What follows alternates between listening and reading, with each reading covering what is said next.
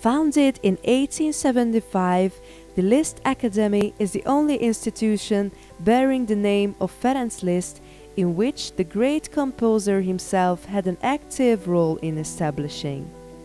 The university is the bastion of music teaching and musicology in Hungary.